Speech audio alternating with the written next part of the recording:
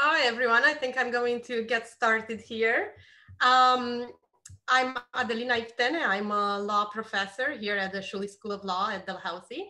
And it is my great pleasure to welcome you for our first event in our inaugural uh, criminal justice speaker series here at, um, at uh, Dalhousie.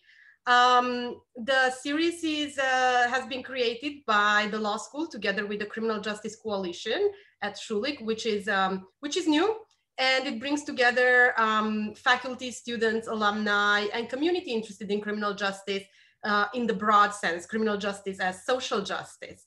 Um, so we have an absolutely phenomenal um, event to uh, kick off our series with and a very timely one. Um, I would like to, uh, to, to send a big shout out to the uh, Criminal Law Students Association, particularly uh, Ellie Sutton and Maggie McCain that have worked very hard on the series. So I'm very, very proud to be working with them on this. Um, and I'm talking to you today from Mi'kma'ki, which is the ancestral and unceded Mi'kmaq territory. And um, I would also like to extend an invitation for you to consider um, and to think of uh, the territories that uh, you are all watching from and uh, the people that have inhabited these territories from immemorial times. Um, it is particularly important, I think, to do so as we're talking about a very, very important issue today, um, and that has to do with um, with how criminal justice system, a very a purely, you know, very strongly colonial uh, colonial um, institution uh, is engaging with and impacting uh, indigenous people, not only here in Mi'kma'ki, but across Canada. Um, we have two amazing speakers today. We are very pleased to be hosting Professor Kent Roach from the University of Toronto Faculty of Law. Um, and uh, my wonderful colleague, our own Professor Naiomi Metallic. Um, Professor uh, Roach is going to be talking about his book, Canadian Justice, Indigenous Injustice, um, for the first part of the event today. And that will be followed by Professor Metallic's remarks on the presentation and on the issues brought up. There will be a bit of a conversation between Professor Metallic and Professor Roach, and we will save the last 10 minutes for your questions. So I'm going to invite you to use the uh, Q&A option that's at the bottom of the screen to uh, submit any questions you may have during the event at the end um, of the talks. And I uh, will come back in the last 10 minutes of the event and fill the question and put them to the speakers. Um, so before I uh, switch my camera off uh, and let the event begin, I will introduce Professor Metallic and then Professor Metallic will introduce Professor Roach. Um, so Naiomi uh, Metallic is a law professor here at the Schulich School of Law. And uh, she is from the Listuguj Mi'kmaq First Nation uh, in um, Was that correct? Okay. Um, she is also the Chancellor's Chair in Aboriginal Law and Policy and she was a law clerk to the Honorable Michel Bastarache of the Supreme Court of Canada between 2006 and 2007. Naiomi has been named um, to the best lawyer in Canada list in Aboriginal law in 2015 and was chosen for Canadian Lawyers Magazine 2018 top 25 most influential lawyers in the area of human rights advocacy and criminal law. As a legal scholar, she is most interested in writing about how the law can be harnessed to promote the well-being and self-determination of Indigenous peoples in Canada. So it is my great pleasure to now uh, let Naiomi take over and I will see you at uh, the end of the event. Well, Alan, thank you, uh, Adelina. Um, Gwe Wildasi Begisin uh, Willag, I'm very happy to be with you this evening and introduce uh, my friend and colleague, Kent Roach. Uh, he holds a chair in law and policy at the University of Toronto. He was appointed a member uh, of uh, the Order of Canada in 2015 for his advocacy as a scholar and litigator for human rights. He presented um, Aboriginal Legal Services of Toronto in a variety of cases, including Gladue, and will be uh, presenting, uh, representing the Asper Center in Chouhan, defending the constitutionality of the abolition of peremptory challenges uh, in response to the Stanley uh, Colten Boushie case. Uh, Canadian Justice, Indigenous Injustice is his 14th book and was shortlisted for the Shaughnessy Cohen Prize for Political Writing. He is currently working on a book on Canadian policing. Um, and I had the pleasure of getting to know and work with Kent as part of an expert panel a couple years ago who wrote on policing in Indigenous communities. Uh, and I'm honored to be involved in conversation with him this evening. Take it away, Kent. Well, thank you very much, Naiomi. That was a very generous introduction. So I, I plan just to speak for about 20 minutes. So there's lots of time both for Naiomi and uh, for all, all, all of you. I'm very grateful for those of you who have joined us. Uh, I'm speaking from the traditional lands of the Mississauga of the Credit, and I'm very grateful as a settler uh, to be on these, these, these lands. Um, my, uh, my book really starts off, and this is something that I learned from Indigenous colleagues who wrote about this case, really starts off with history and uh, what happened in the Gerald Stanley Colten Boushie case happened on Treaty 6 uh, land.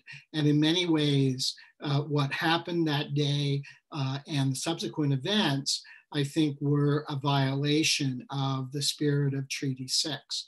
Now, two of the people that were involved in the negotiation of Treaty, the, Treaty 6, you see on the screen, Alexander Morris. I know he looks a little bit like Sir John A. Macdonald. Uh, he articled for Sir John A. Macdonald, um, um, but it is not Sir John A. Uh, and uh, the person uh, on my right is, uh, and, uh, and, I apologize for my pronunciation, Mistahimaskwa, better known as Big Bear. And uh, in 1876, uh, Big Bear refused to sign Treaty 6. And one of the reasons he refused to, uh, to sign Treaty 6 is that when he asked Morris uh, will there be a noose around our neck? Morris, in a way of kind of white settler uh, defensive lawyers, said, well, if, you know, of course, there will be a noose around your neck if you kill someone illegally, uh, but I also promise you that there will be a noose around the neck of someone who kills uh, uh, one of you illegally. Uh, so that's not what Morris, uh, that, that, that, that's not likely what Big Bear meant. It was likely a mistranslation uh, of the Cree.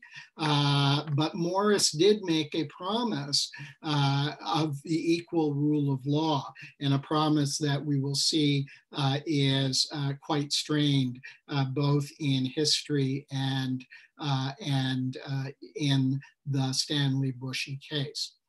Um, the next is uh, a grave marker uh, for eight um, Indigenous men uh, who were hanged uh, uh, at Battleford, where the Stanley Boushie case took place in 1885 in the uh, follow up to the 1885 uprising. Um, again, in the book, I talk about how um, the settlers uh, in uh, Fort Battleford assumed that the indigenous people would attack them, even though uh, many of the indigenous people took the treaty seriously and did not join with Louis Riel and the other May, May, May, Métis in the uprising. These eight men uh, were uh, hanged uh, publicly, even though that was illegal in Battleford in 1885. They were tried before an all white jury. They were tried really without any defense counsel and without translation uh, from, uh, from the, the, the, the Cree.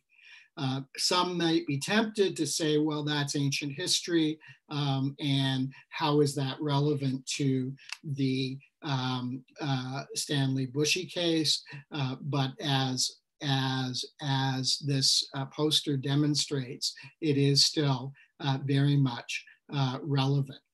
Um, so in in the book, in chapter three, I go through a series of cases that I was not aware of before I started researching the book, where uh, cases from Saskatchewan involving all white juries um, and, and um, uh, uh, acquittals. Uh, the Alan Thomas case, you may be familiar with. It went to the Supreme Court of Canada on a coroner's inquest in, uh, in uh, 1965 um, and uh, looks very much like jury nullification of white men who killed a Cree man. Uh, the other cases uh, I mentioned the Donald Marshall case, although it's not uh, from Saskatchewan, but obviously from Nova Scotia. Donald Marshall wrongfully convicted uh, by an all white jury, and the Helen Betty Osborne case, where peremptory challenges were used in Manitoba to ensure an all white jury.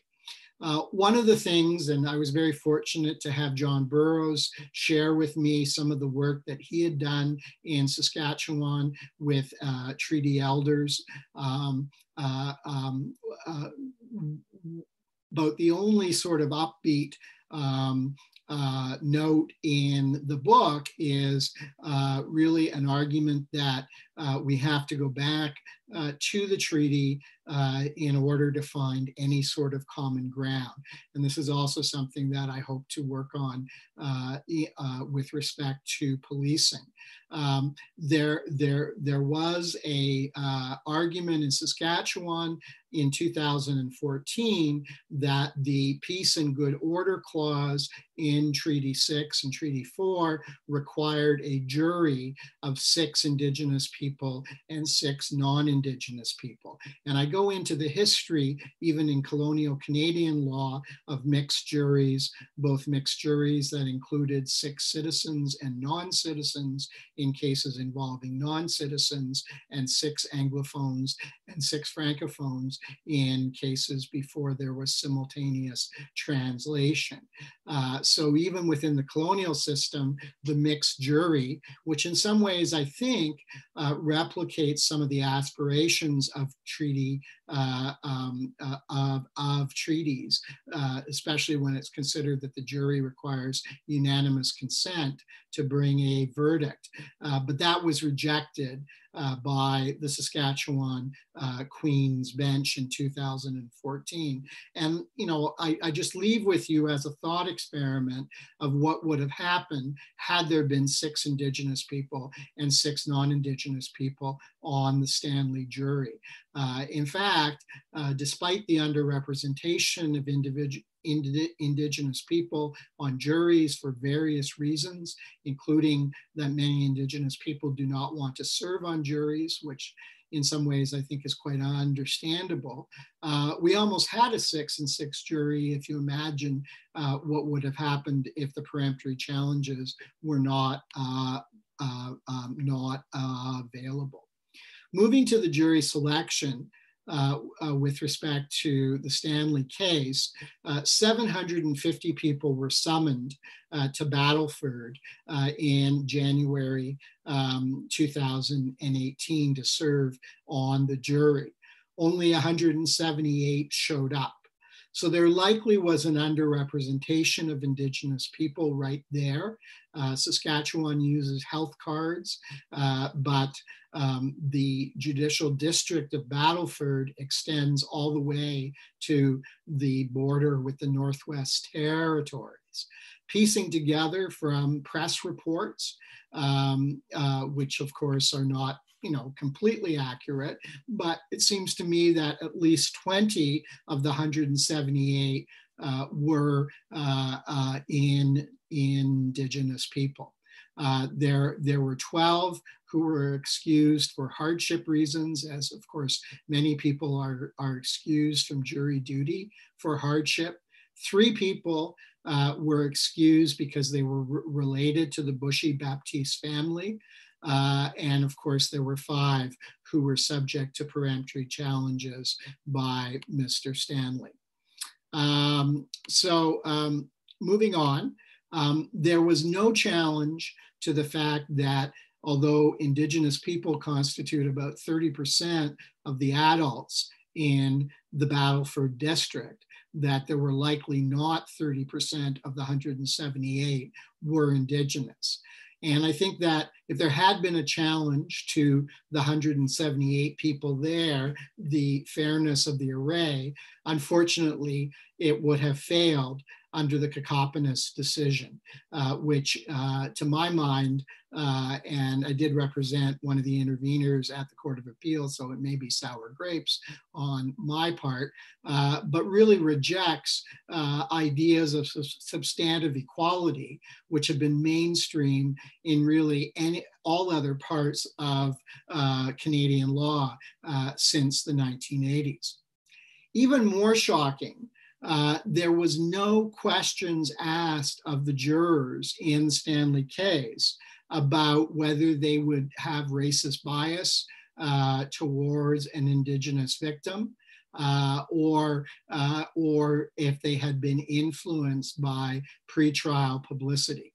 And I, I, in my research, I was very surprised to find that the prosecutor in the Stanley case had actually convinced a court in an earlier case stemming from the Saskatoon Starlight tours, where a police officer was, uh, was charged uh, and the victim uh, uh was Indigenous, to ask the the Williams Parks question, which basically is, are are are you such a racist that you will not be able to decide the case on the basis of the evidence that you hear? Um, I'm going to get into a little later, and I'm happy to take questions about whether that's an adequate um, uh, uh, uh, question, uh, even though I was involved with Williams. Um, that was a long time ago. I'm very old. Um, and um, uh, I don't think that it is an adequate question. But the fact that it wasn't uh, asked is really quite shocking. And it is quite shocking in light of this Facebook post, uh, which in 2016, after Mr. Stanley's arrest, the picture is of Mr. Stanley uh, uh, going in uh, uh, for a bail hearing. Uh, Brad Wall, then the premier of Saskatchewan, posted on Facebook that there had been racist and hate filled comments on social media, and these must stop. Uh, it's a betrayal of the very values and characters of Saskatchewan, and they are uh, dangerous. And you know, given this sort of pre-trial publicity, it really is astounding that um, uh, no questions were asked of the jurors uh, uh, before they were in in in panel. And then, of course, as you know, uh, when uh, five visibly indigenous people came forward to serve as jurors, they were subject to a peremptory challenge by Mr. Stanley and his lawyers, meaning that uh, uh, they simply said challenge, and that was accepted without any reason being given.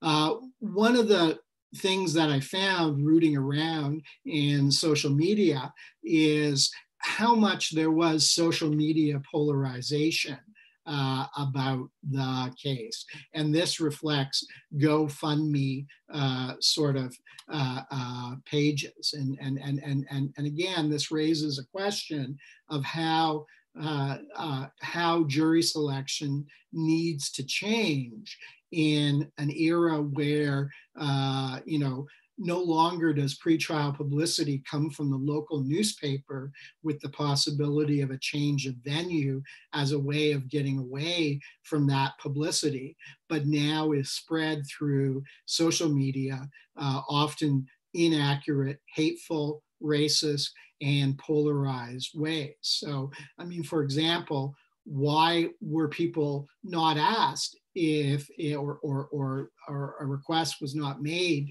to the trial judge to ask people whether they had contributed uh, to either of these funds. Um, it may be that they could still be impartial, but it would seem to me that this is something uh, that is uh, very, very rel relevant.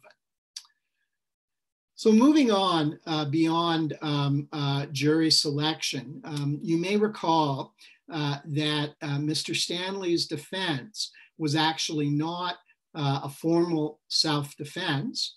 Uh, it was rather that, um, that it was a hang fire or an accidental discharge of the old pistol that he obtained from his shed.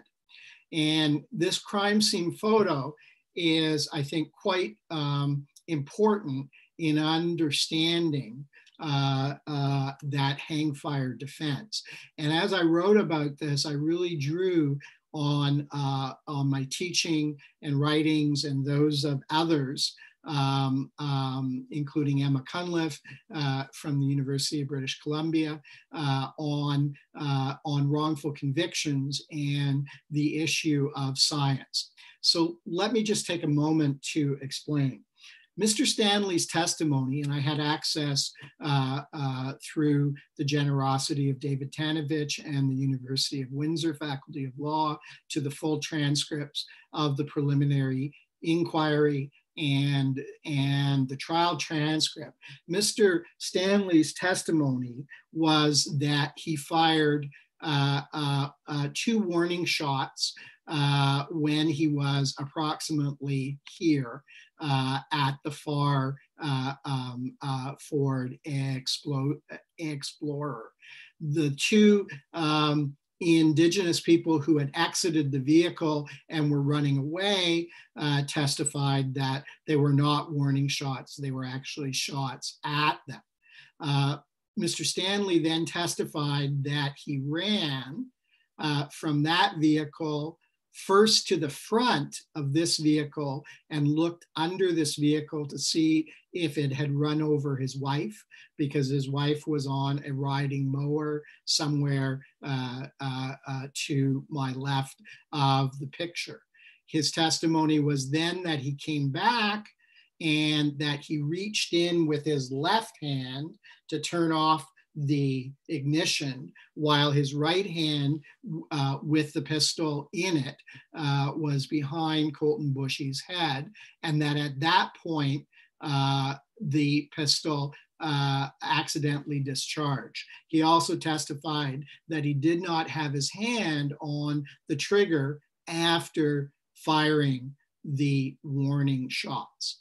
Uh, his son's testimony uh, was uh, substantially similar, although his son said he walked.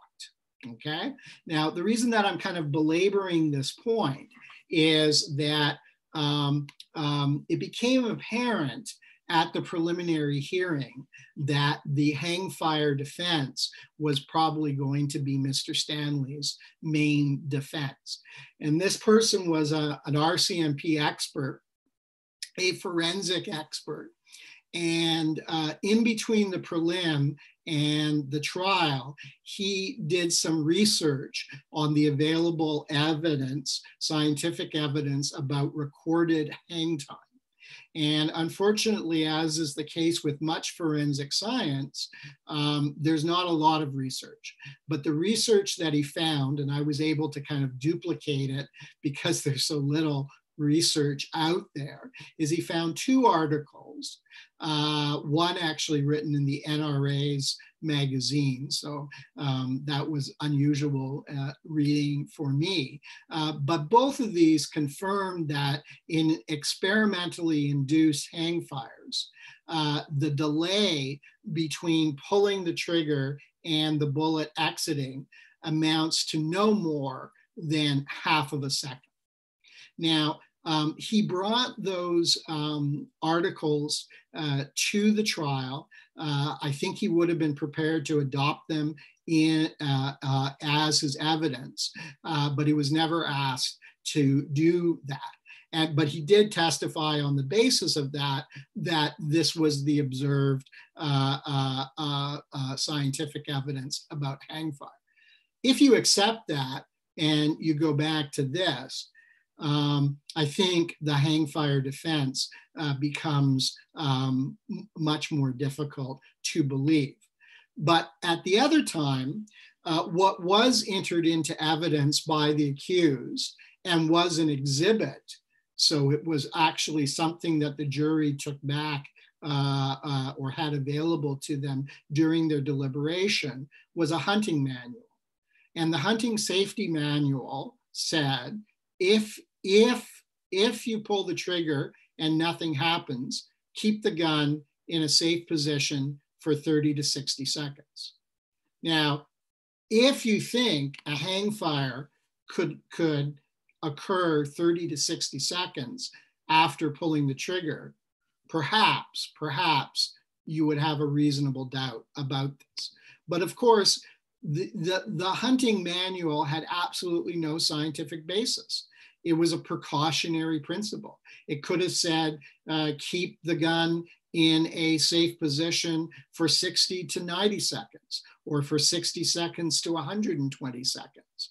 Uh, and so it seems to me that uh, the jury was uh, not left uh, with uh, precise enough argument on this issue. And of course, the jury acquitted Mr. Stanley of both murder and manslaughter.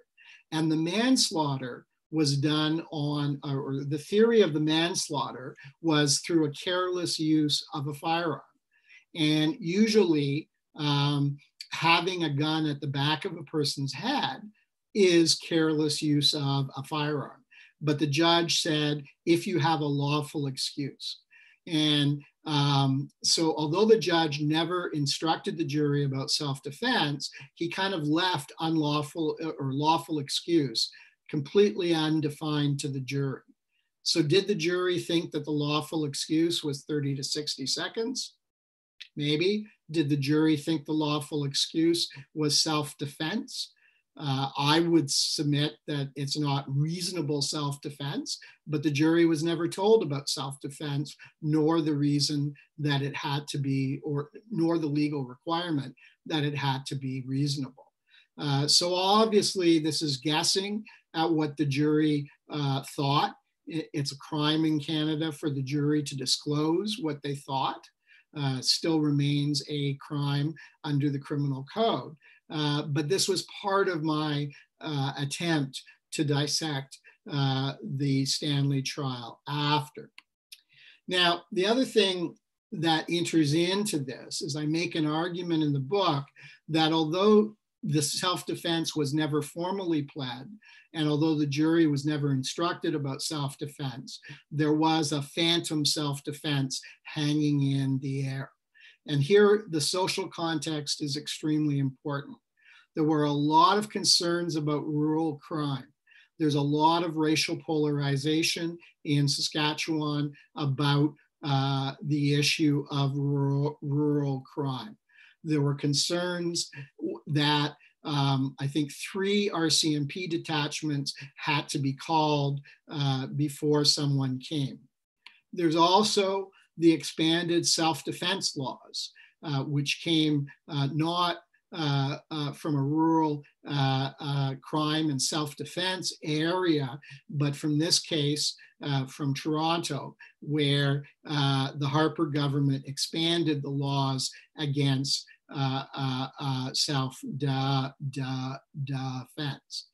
And in the trial, trial transcript, uh, Mr. Stanley testifies as to his subjective fears about people using their vehicles to crash into crowds. And um, this, uh, what happened on the Stanley farm happened approximately a month after this happened in Nice, France. Uh, so, you know, again, Mr. Stanley may have been thinking about that. Whether this is a reasonable analogy, I, I would suggest it isn't. Uh, but um, he was allowed to testify about that. He was also allowed to testify that uh, as he was walking towards the car in which Colten Boushie died, uh, that he was thinking of a 1994 rural crime murder with a connection to the Red Pheasant First Nation, which is where Colten Boushie lived. Now, again, how is a 1994 murder relevant to a reasonable perception of self-defense. Um, that was really never explained to the jury. I don't know whether the jury uh, put the dots together with the connection uh, to red, red, red, red pheasant. But it seems to me that uh, given that uh, Mr. Stanley testified that he did not know that there was a gun in the car, that this raises an issue, an issue that we've seen in the United States of unreasonable and arguably racist self-defense. And that is, as with the Bernard Goetz case in the New York subway, self-defense that is animated by racist fears and stereotypes. And similarly in the Trayvon Martin case.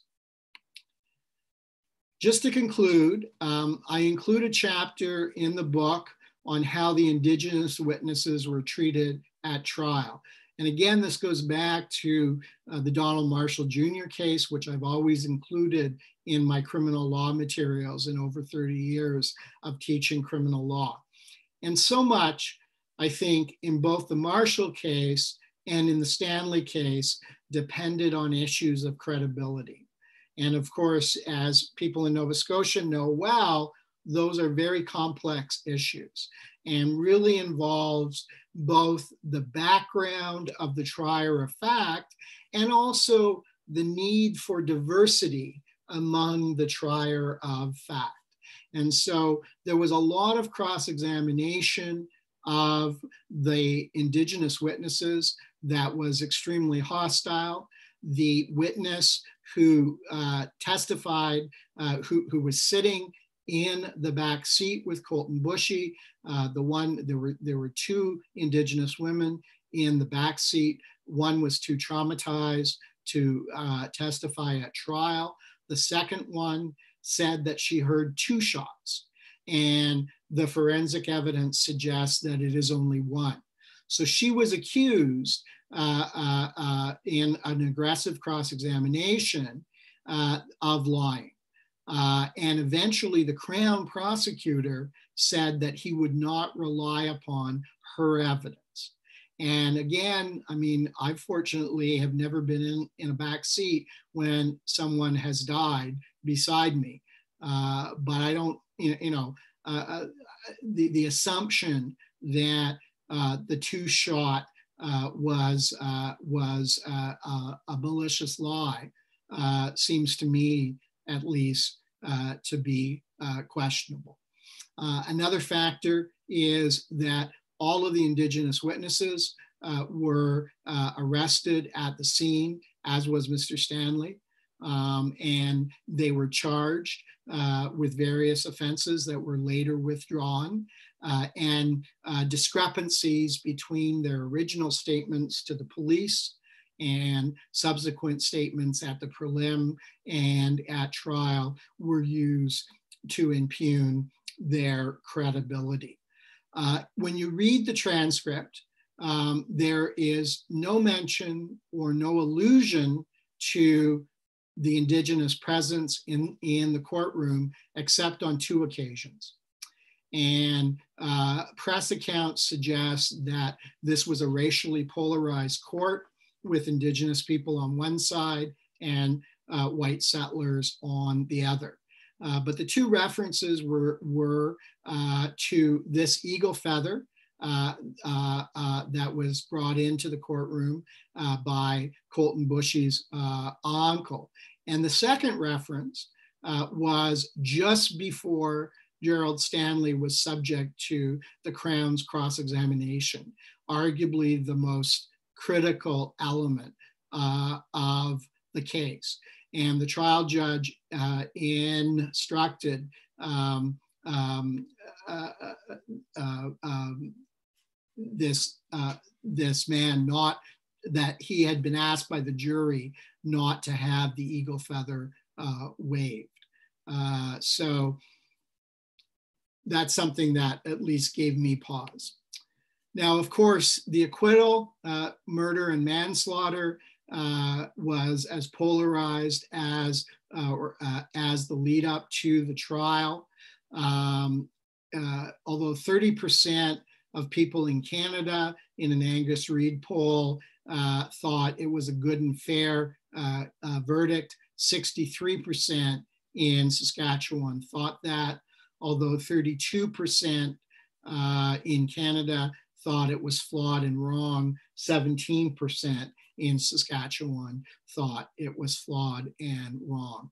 And although there is not a um, uh, a breakout uh, uh, uh as to who these people were. 17% uh, of people in Saskatchewan are Indigenous.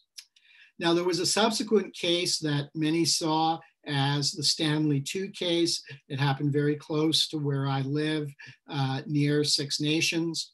Uh, and uh, Peter Khill, uh, the man on my left, uh, was uh, acquitted both of murder and manslaughter for killing John Styres, who was attempting to steal his truck. a new trial has been ordered by the Ontario Court of Appeal but the Supreme Court of Canada has um, has uh, granted leave. And so this will eventually be heard in the Supreme Court and may be the really the first test of the conservatives' uh, 2013 uh, self-defense law. Uh, one of the issues is uh, uh, the Court of Appeal in Ontario found that the trial judge erred by not instructing the jury to consider Mr. Khill's um, um, um, uh, actions, which were to grab uh, uh, uh a gun, uh, not to call 911, uh, to approach Mr. Styres in the middle of the night. And then when he thought he saw a weapon, to fire two shots. another issue may be whether uh, Mr. Khill's military experience is relevant. Who is the reasonable person? That's an issue that uh, the law students in here uh, listening to me will grapple with, especially in, in first year. Uh, but the last issue is um, whether we can actually do better. And Bill C-75 uh, uh, was, uh, was uh, uh, included an abolition of peremptory challenges of jurors. and the Supreme Court will hear a case dealing with its constitutionality and whether it applies uh, retroactively or prospectively, uh, I believe on October the 7th. Um, I support the abolition of peremptory challenges uh, because I believe that it is impossible and that the American experience demonstrates that it is impossible to control their discriminatory use.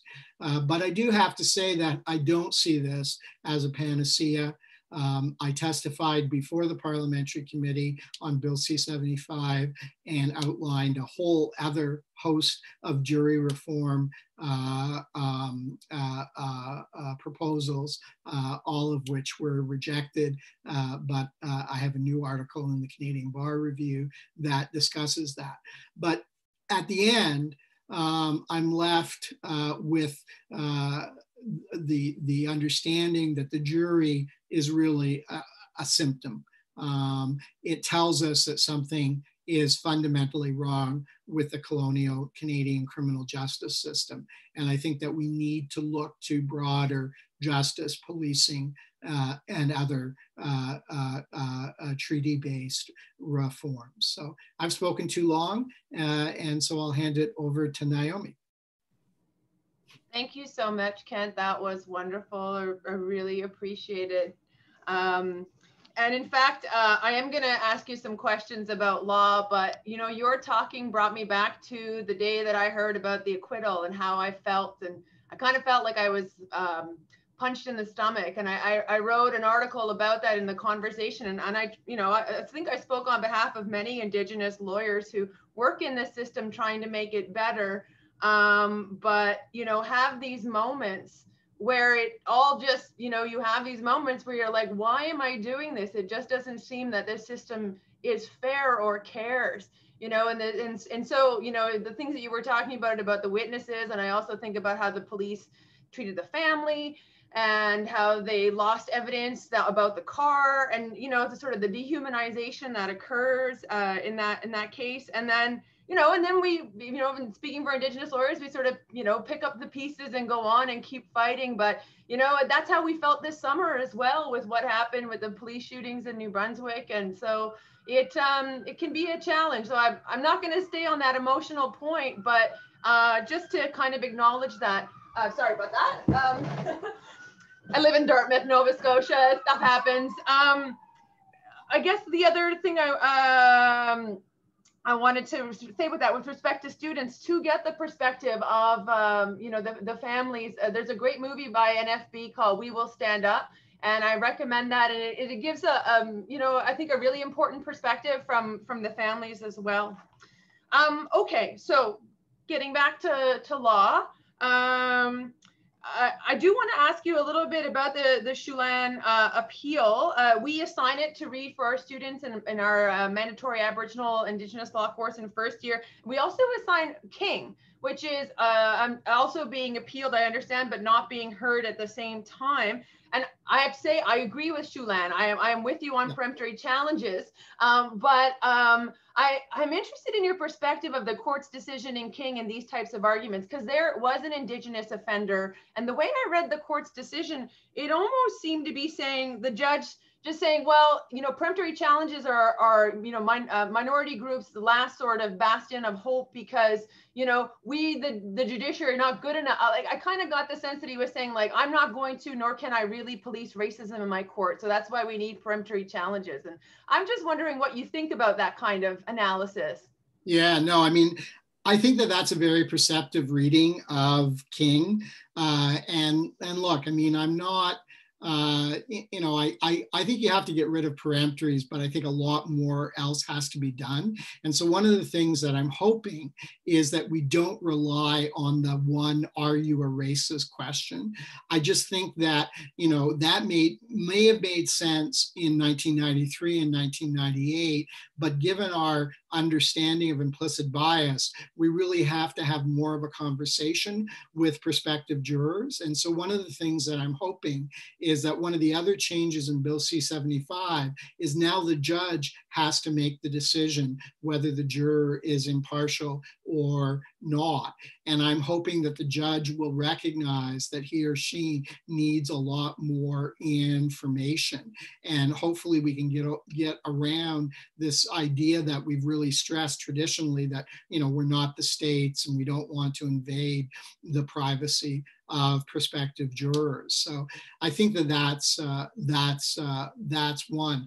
But you know, I, I, mean, I have to say that you know, uh, um, it pains me that um, a lot of uh, that racialized groups are on different sides of Chouhan. Uh, and people that I, you know, respect like Nader Hussain uh, uh, uh, are on the other side. And you know, they're arguing that peremptory challenges are really the only thing that we can use in order to have a more representative jury. Um, and you know that may work in some cases, uh, and it may work in Toronto, uh, but I think that in many cases it's not going to work. That if it's a battle of peremptory challenges, you're going to keep those who are in the numerical minority off the jury. And, you know, one of the things about the We Will Stand Up documentary is, you know, that, that there's one of the jurors that were, or prospective jurors who was subject to a peremptory challenge and they interview him. And, you know, here's this person that despite all this kind of colonial history is willing to do his part as part of the jury. And yet you know they just kind of said you know we don't like the way you look. We don't like the fact that you have your hair in braids and uh, go home exactly I I, uh, I could talk more about that both those decisions, but I would like to, with the time, recognizing we're going to have some time for questions, move on to another topic that I wanted to chat with you about, which is one of our mutually shared love topics of you know accountability and policing. Uh, so let's uh, let's talk about that and uh, uh, several events this summer. I think everyone listening knows what I'm talking about. Deaths here, deaths in the U.S., um, and leaving several uh, groups calling for greater uh, accountability. And um, I want to ask you, what do you think needs to happen in order for there to be effective police accountability? And we can talk about education and you know these sorts of things as well. But I'd be interested from your perspective, from a, a legal perspective, because the constitutionality and legal sort of dynamics of how policing works is super complex. A lot of people don't understand. And um, we've also seen, I saw it in New Brunswick, we saw it in Nova Scotia with Portapique, uh, jurisdictional issues kind of get used as, as an excuse for inaction. So, well, we can't do anything. It's the other government's uh, ability to do so. So, just wondering, what, what do you think uh, some of the things that need to happen in terms of to strengthen accountability? Well, I mean, one of the things is I think that we really have to rethink whether we want the RCMP to do the contract policing that they do. I really think that you know, uh, we need more democratically accountable uh, police forces uh, and done in a kind of transparent way. And I think that if we did that and we took some of the money that is used for contract policing and put that into, you know, self-administered uh, uh, uh, forces or forces that were more responsive to local uh, uh, lo uh, local communities that that would be important. I mean, look, you know, the rule of law uh, the SIU, the, you know, the Bureau de l'Enquête investigation, that is kind of the absolute minimum, right? That, you know, and it goes back to self-defense. I mean, I also think one of the things we need is to amend self-defense laws to say self, you know, it's not reasonable self-defense if it's influenced by racist stereotypes. And I think that we can learn a lot from feminist approaches to law law reform, which you know with no means no has actually named these myths and stereotypes and declared them to be errors of law. Uh, because I mean, you know, uh, again, I you know, and and then finally, I think we really need to rethink use of force policies because it seems to me that we've gone on a kind of mechanical sort of thing where everything leads to force, right? So I, you know, I tried the taser, I tried the mace, and the next step is, uh, you know, three, four shots center mass. Um, and I just think that we have to have to rethink that. And I think the only way we're going to do that is if police forces are more locally uh, accountable. So more in a kind of democratic politics sort of sort of way.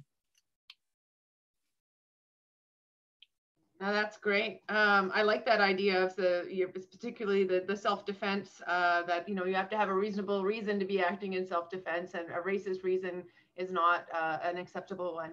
Um, Adelina, I'm seeing it's 10 to 6. Uh, of course, I could go on asking Kent questions all night, but I know that you wanted to leave some question time for question. Um, yes, thank you for that amazing presentation, Kent, and thank you for um, your intervention, Naiomi. I think that uh, I could just uh, sit here and uh, listen to you. I actually didn't even look at the watch. I was just sitting here listening to the two of you talk. Um, so we do have one, we have a couple of questions that are coming up now. And um, I, I, think that if that's okay with you, maybe we can go a couple of minutes over and allow for, um, uh, you know, for both of you to answer the questions. Um, so I encourage everybody in the audience, if you if you have questions, just use the Q&A. Um, just a very quick uh, question here from somebody is asking if, uh, Kent, you have any information about uh, uh, who was the first indigenous person who sat on a jury in Canada and when? Uh, I actually don't, although I think I've seen something recently. I, I don't think it was from Naiomi, uh, but someone knows that, but it's not me, I'm afraid. Okay. Um, I just, I don't know, Naiomi, do you have a different answer? Not off the top of my head, sorry. uh, the next question asks, uh, and I think that could be from for both of you. Do you think the sentencing should uh, be taken into account the indigenous background of an offender, Inuit, First Nation, Métis, or is that more harmful? So I mean, I think that goes into um, uh, Gladue a bit. I'm not sure, but yeah. Yeah, I mean, you know, um, I do think that it should be considered, but I also think, and you know, this this may go back to Naiomi's question about what accountability is for the police. Is it seems to me that you know, um, although I've tried to you know smooth out some of the rough edges at various times during my career. I have to say, as it starts to wind down, I'm starting to have more and more doubts uh, about, uh, you know, the entire adversarial system. Uh, and I think that, you know, one of the things that we need to think about is a much more holistic way to deal uh, with issues of misconduct. And I say that also with respect to the police. Um, because, I mean, one of the reasons why I'm now trying to write a book about the police is I think that um, um, that the, the, the accountability, including things like the mandatory four-year sentence if you're found guilty of manslaughter and the use of a firearm, almost kind of backfires because it'll, it gives people an excuse to avoid acceptance of responsibility. And it means that in many ways they don't have a safe place in order to accept responsibility. And what's more important, to undertake to make uh, changes in conduct so that it will not occur again. I mean, so some of my despair about accountability in the adversarial criminal justice system is how many mentally ill people who have access to knives, which we all have in our homes. How many of those people have died? And you know, I'm sure from the police officer's perspective, um, being uh, brought before a criminal court, being brought before a civil court, being brought before disciplinary proceedings. Some police officers, Robert Chrismas from the Winnipeg Police Office, uh, Police uh, written a book where he talks about quadruple jeopardy. So I see lots of, you know, colonial accountability mechanisms, but not a lot of accountability. Um, and so, um, one of the things that I think we really need to think about is uh, when we're attempting to punish people uh, and impose hard treatment on, on, on them, we're, we're giving them incentives to say, I did nothing wrong and I don't have to change anything in the future. And it seems to me that those are, are very different questions. But I'd be very interested in what Naiomi thinks about this.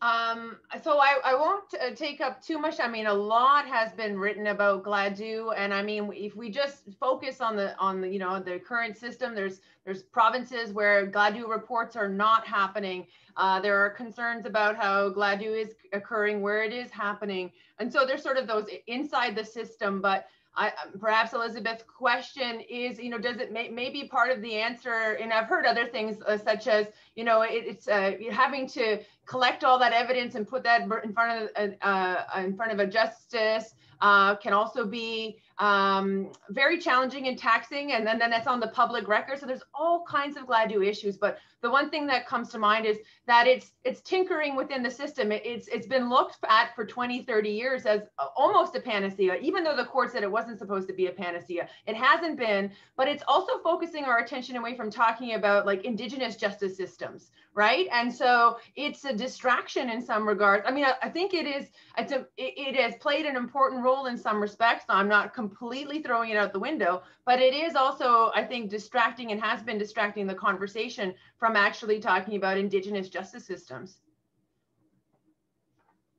Yeah, I mean, I, look, I think that that's fair. I mean, one of the one of the the things about getting old is is is you start to learn that you know things that you thought were great victories are maybe not great victories and and certainly aboriginal legal services experience was you know when Gladue came down uh, uh, we, we really couldn't believe what, what it said. But within a week or two, uh, we realized that it wasn't changing uh, what was happening to our clients. And, and, and, and so, as some of you know, uh, there have been efforts to set up Gladue court workers, Gladue courts, and you know, um, ALS has played, I think, an important role. But you know, and I, I don't speak for them, but I think that they would say uh, there are some some real real limits. And and and yeah so I, I mean I, I I do think you know both with Williams uh, which allowed the the one are you a racist? card. I mean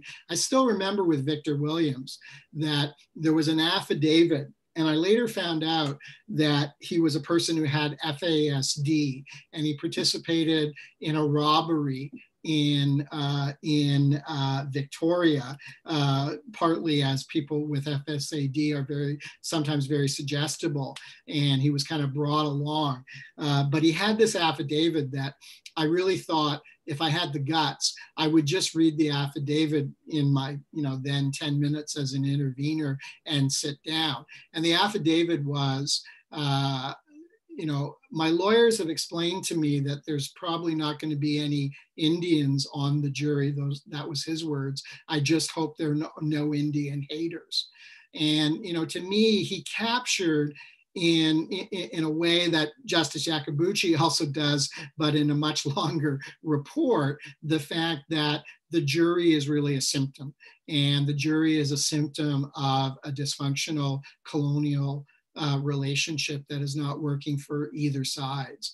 And I think that's that's why we need to think about going back to the treaty because you know with this idea of polarization I think we have to grab upon whatever we can uh, as potential common ground to move forward together. But I, I, I agree with Naiomi that uh, we can't let this distract uh, from the bigger issues. But at the same time, we can't let cases like Stanley Boushie go, go un, unanswered. The Saskatchewan government didn't even hold a public inquiry or a coroner's inquest. If it had a coroner's inquest, it could have had a jury of six indigenous, uh, three indigenous people and three settlers. Uh, that's available under Saskatchewan law.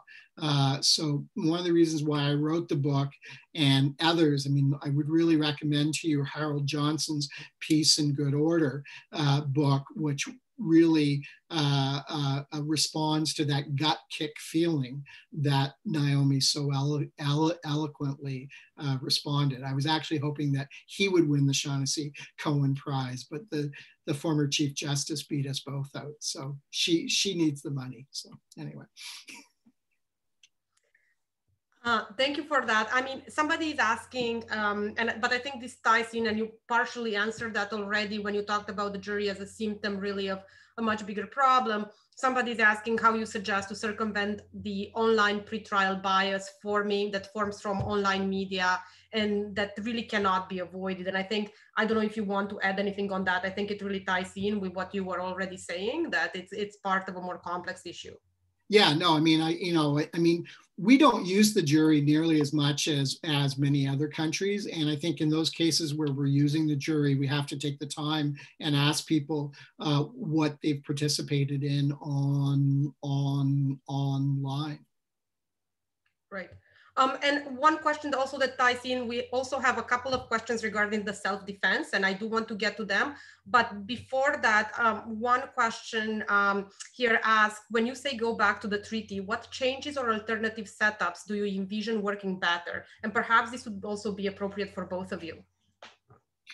Right. Well, I mean, the material that John Borrows was generous enough to share with me really uh, um, uh, uh, thought of uh, the Peace and Good Order Clause as something that contemplates two justice systems and talks about responsibilities of both.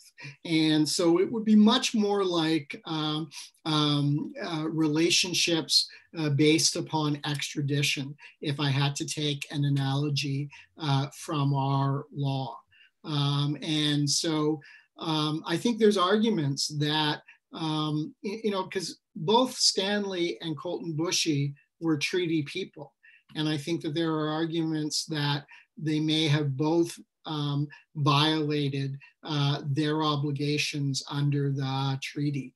Um, and you know maybe this this really uh, speaks to uh, the importance of understanding uh, the the the treaties. Uh, I mean, there was no mention, obviously, of Treaty Six uh, in the Stanley case, and I think that there should have been. Yeah, um, and so I think the you know there, there's a couple of different situations. I think there are situations where you have both settler and indigenous conflict uh, that you know um, maybe you know a, a, treaty can inform. Some of my colleagues say a trans-systemic approach where you're considering both treaty obligations and Canadian obligations and trying to figure out you know how that how to balance them.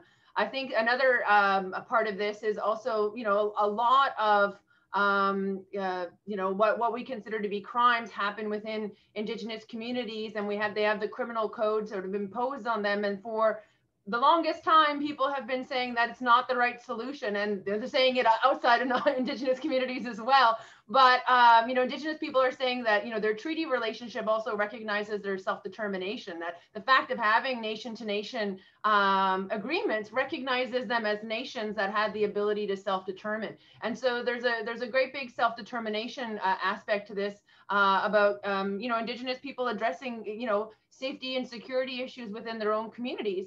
Um, and, you know, if we look to our neighbor to the south, which we often like to compare ourselves to, saying that we're better than them, I mean, the tribes have had, uh, are, are far more self determining there, and many of them uh, address their own, you know, criminal justice disputes. So it's not as if this is, you know, something completely impossible.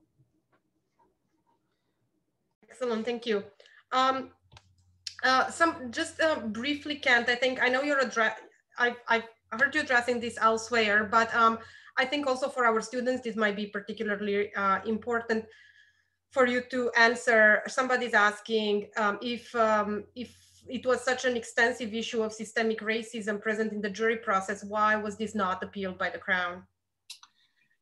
Well, um, I think the Crown uh, could have appealed, but the Crown can only appeal on an error of law. And because the Crown didn't ask uh, for questions to be asked of jurors, because the Crown did not insist on the jury being instructed about self defense, there wasn't the same uh, legal basis for uh, that appeal. So, you know, in in in the Khill John Styres case, the appeal is going all the way up to the Supreme Court of Canada, but that's only because of allegations or uh, uh, of errors of law in self defense. The problem in Stanley is there really were a kind of bare bones sort of instructions to the jury uh, because the Crown uh, had been so passive at trial. So there wasn't a lot of kind of raw material. Now, an argument that I make in the book is maybe the Crown should be able to appeal a miscarriage of justice, and particularly a miscarriage of justice that's related to equality rights. I mean, you know, one of the big conflicts in the Chouhan case, which is going to be heard uh, in in a few days, is kind of an understanding about equality, right? And that uh, those who are supporting abolition, at least the interveners, which include lawyers representing Debbie Baptiste, uh, who is Colten Boushie's mother, uh, are arguing that equality kind of applies uh, both ways, uh, whereas the interveners and others uh, who are uh, opposing the abolition of peremptory challenges really sees it as a one-way street where it's all about the rights of the accused. And the accused has always had this right and therefore should always have this right to engage in, uh, in peremptory challenges. One of the reasons why I, I argue for an expanded Crown right of appeal isn't because I'm particularly Crown minded. Uh, um, a lot of my friends would tease me about why I wasn't teaching a course on wrongful acquittals as opposed to wrongful convictions. But I do think that when equality is breached, uh, and and that is the reason for a wrongful acquittal. That is that is a miscarriage of justice. So I, I have learned from my feminist colleagues that we have to bring Section 15 into the criminal law, even though decisions like Kokopenace and many of the arguments that are being made for the accused now uh, really want to keep the criminal law as an equality free zone.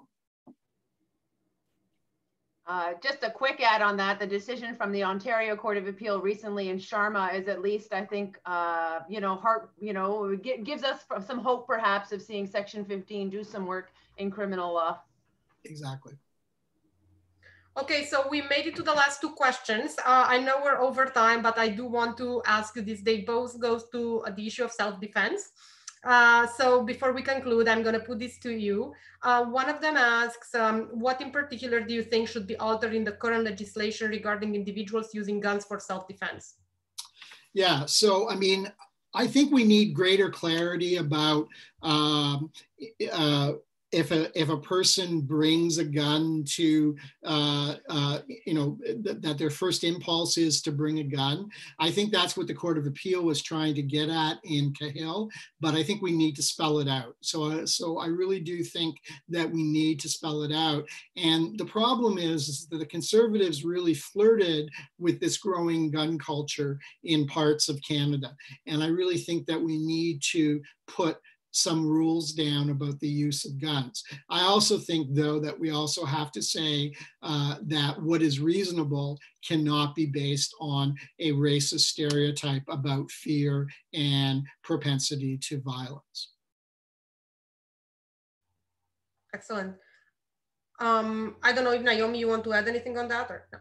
Uh, and the last question, um, was it ever considered by either the defense or the prosecution that the double shot heard by the woman seated behind Mr. Boushie was the supposed hang fire itself, meaning that a delayed ignition sequence with the primer going off first and then the propellant?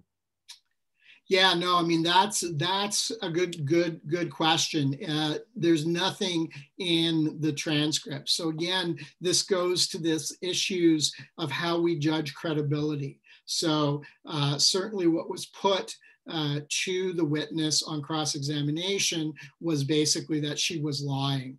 And at one point, the trial judge kind of, you know, said, you got to tone down the cross-examination. But that was never really put. Uh, either that or also just misre- misremembering uh, because of trauma or the fact that the witness when she made her initial statement to the police had been charged with assault herself and that that might have entered into her thinking. None of that is present uh, on the transcript. I want to thank both of you so much for uh, for joining us today and for helping us uh, kick off uh, this series with uh, a very very important, probably one of the most important criminal justice issues that we have at the moment in Canada. Uh, and we have many. So, and we'll discuss many of them throughout the year. But I am very happy that um, you were both here uh, and able to even, if it was just for an hour, to to start to open this conversation. And I strongly recommend Professor uh, Roach's book if you haven't read it already. We um, the library has a few copies as well. It's Canadian Justice, Indigenous Injustice. Um, and the, the, this session has been recorded. It will be available um, on the YouTube channel of the law school. And as well, if you are interested in um, uh, the recordings or in the future events, we have an event at the end of the month on the last Tuesday of each month from now on. Um, I encourage you to follow the Criminal Justice Coalition at Schulich run by our amazing students, uh, both on Twitter and Instagram. So on Instagram is criminal uh, dot justice dot coalition and on Twitter it's Schulich underscore cream J. Um, our next event is going to be on October 27 and it's going to be um, on the issue of advocacy in the uh, federal prison for women. Uh, Sarah Tessier is going to be uh, joining us talking about her experience as a, fo a former incarcerated woman who has advocated for uh, women, both um, in, in uh, by with uh, habeas corpus and other other forms, both from the inside the prison and now outside. And she will be in conversation with Senator Kim Pate and uh, Emilie Coyle, who's the executive director of the IFRI Society. So hopefully you're going to join us for that event. Again, thank you so much, Kent, and thank you so much, Naiomi, for this very, very rich conversation. Um, and uh, we'll, uh, we'll talk soon. Thank you so much, Adelina, for organizing it. Yes, Great thank you. Thank you so much, Adelina, for organizing it. Thank you. Bye. Bye. Go, go, go Blue Jays.